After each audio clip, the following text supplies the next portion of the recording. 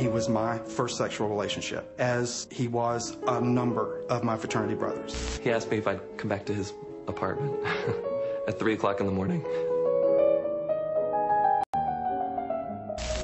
I said, What was that all about? You and the congressman. And he said, said, We're having a relationship. He grabbed me by the shoulder and very boldly said, Remember, you never saw me. You've never been here. A relationship with him, a sexual relationship with him. We never discussed his political platform or what he believed in. We just had sex. Let me be clear. I am not gay.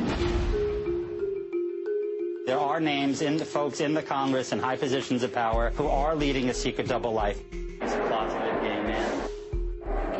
He's a closeted gay man too. They have been chasing us for years. We're going to chase back. I think that each one of these outings puts a little chink in the armor of the anti-gay movement. It is very important that the people who make the law be subject to the law.